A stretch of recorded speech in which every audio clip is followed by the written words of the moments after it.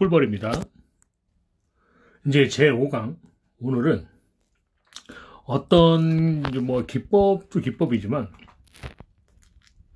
이건 좀 위험할 수 있는 기법이에요. 하지만 여러분들이 생각을 조금만 달리하면 굉장히 안전해요.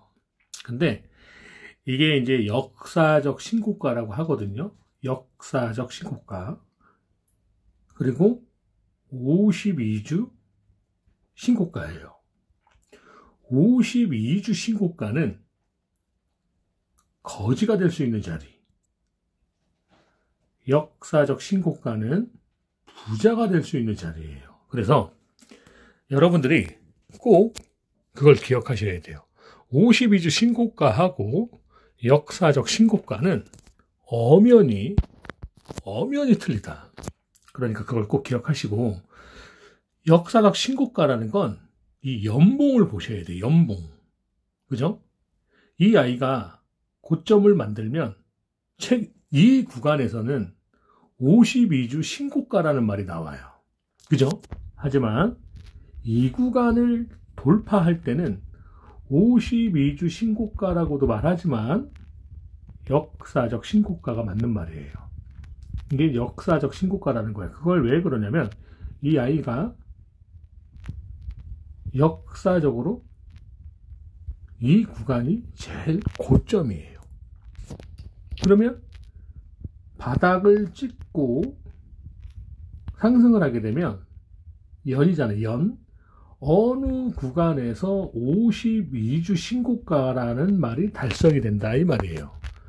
52주 신고가에서 잡으면 그지가 되는 거고 역사적 신고가에서 잡으면 뭐가 된다?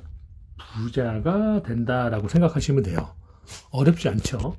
그래서 이 연봉을 볼 줄 알아야 돼요. 연봉을.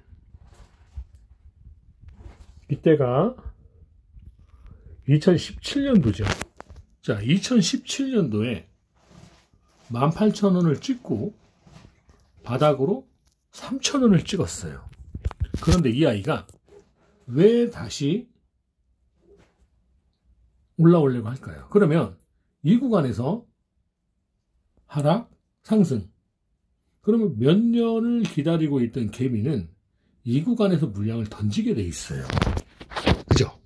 그러면 이 구간에 또 다른 개미가 붙겠죠? 그럼 이 구간의 개미는 어떻게 됐겠어요? 없어졌다라고 보는 거예요. 그럼 이 구간에 또 다른 개미가 있죠? 그럼 이 구간의 개미를 돌파하게 되면 앞에서 앞에서 이 구간을 매집을 해줬기 때문에 이 구간을 돌파한다라고 보면 어떻게 된다? 이걸 먹으러 간다예요. 그래서 우리가 이 아이를 왜 진입을 하냐? 바로 요 상한가라는 캔들 때문에 그래요. 상한가라는 캔들이 어떤 원리를 만드냐?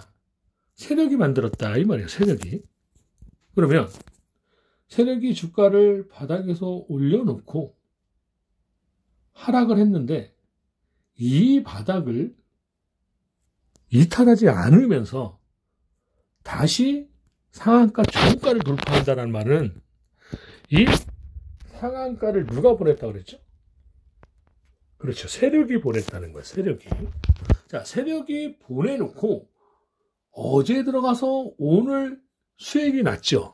그런데 왜 오늘 주식을 팔아야 되죠? 바로 꼬리를 쳐서 그래요. 꼬리를. 주식은 쌍봉 구간이라는 구간이 있어요. 쌍봉.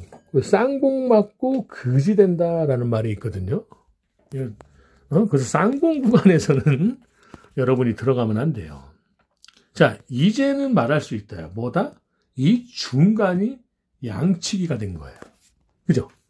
그러면 어제 종가로 상한가를 돌파했기 때문에 진입을 해서 약수익이 오늘 났는데 약수익이라도 뭐 7%가 약수익은 아니에요. 하루에 7%면 여러분들이 생각하는 어? 은행에다 1년 이자를 분 거 대비 하루 만에 어, 여러분들은 365일을 기다리고 이 적금, 예금, 이자를 받을 수 있지만 우리는 하루 만에 그냥 어, 이자가 나온다 이 말이에요.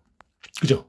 자, 그러면 이 구간을 찍었다? 그럼 이거 어떻게 돼요? 여기 없어지는 거야. 상한가를 갔다가 상승을 하니 더 갈 줄 알고 개미들이 진입을 했으면 주가가 빠졌죠? 여기서 한번 꼬리 쳐주는 거야. 그런데 다시 또 이 구간을 이탈했다가 돌파했다? 뺄 생각이 없다. 이렇게 이해하시면 돼요. 그러면 여기서 고점, 저점, 고점, 저점, 고점이야. 그럼 추세가 뭐가 되죠? 그렇죠. W가 된다. 이 말이야. W가. 그러면 이 지금 구간은 무슨 W가 돼요? 그렇죠. 행보, 행보. 박스권이다. 라고 보는 거예요. 박스권. 그런데 지금 주가가 바닥으로 하락하는 구간인가요? 올라가는 상승 구간인가요? 올라가는 상승 구간이다 라고 생각하셔야 돼요. 그게 왜 그런지 아세요? 바로 이평선이에요. 이평선. 여러분들이 내가 가지고 있는 어? 뭐 첫사랑 기법, 앞뒤 기법, 쓰리섬 기법, 포섬 기법 제가 가지고 있는 기법들의 이 이름들만 여러분들이 잘 기억하고 있으면 정말 떼돈 벌어요. 떼돈 벌어. 제가 가지고 있는 기법 중에 1조 기법들이 엄청나게 많아요. 1조 기법이 한 가지가 아니야. 엄청 많아요. 상한가 간 아이를 다음날 시가에 무조건 잡는 방법도 제가 가지고 있어요. 이것도 승률이 100%야. 그리고 또 다른 1조 기법도 승률이 100%예요. 근데 100%가 안 나오면 민키야 나보고 개소리 하지 말라 그런다 또. 그러면 되겠어. 오빠 지금 열심히 주식하고 있는데 공부하고 있는데 조용. 아 죄송합니다. 자 그러면 제가 지금 가지고 있는 1, 1조 기법을 현재 우리 제자들 몇 분이 같이 사용하고 있고 지금 또 다른 또 1조 기법을 공개를 해줄까 말까 지금 고민을 하고 있다. 여러분들이 주식을 어렵게 생각하면 끝이 없어요. 무슨 말인지 아시겠죠? 자, 그럼 이제 이 아이가 오늘 시간의 상한가를 갔죠. 자, 그럼 시간의 상한가를 갔으면 주봉을 보면 이 아이가 이 구간, 그냥 월봉을 보자, 월봉. 월봉이 깔 것. 자, 그럼 이 구간을 돌파하면서 시작하면 이거 먹으러 간다라는 거야. 아니면 어떤 그림이 또 나오겠어요. 그렇죠. 꼬리 치고 빠져요. 이 구간을 꼬리를 치고 빠질 수가 있어요. 그러면 이 아이와 이 아이가 어떤 구간이 되겠어요? 그렇죠. 쌍봉 구간 되는 거예요. 쌍봉 구간. 꼬리 칩은 그지 되는 거예요.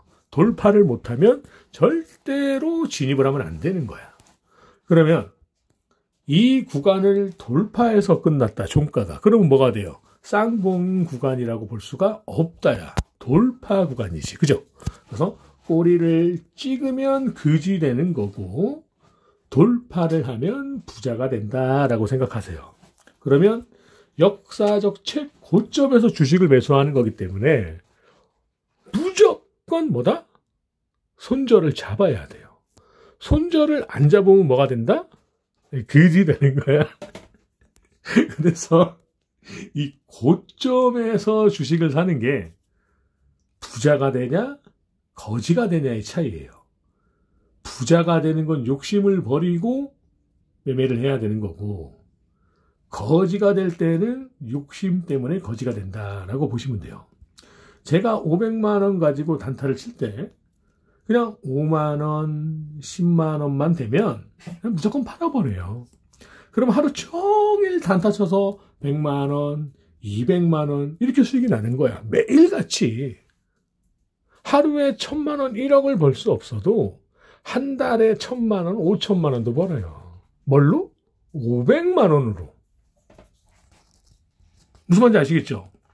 대신 절대로 주식은 왼쪽에 사서 오른쪽에는 무조건 팔아야 돼. 단타도 마찬가지예요. 왼쪽에서 단타로 진입을 하면 고점 찍고 오른쪽으로 하락하게 되면 음봉으로 빠진다는 거죠. 그러면 역배열이야. 무조건 뭐다? 익절해야 돼요. 아시겠죠? 주말 잘 보내세요. 감사합니다.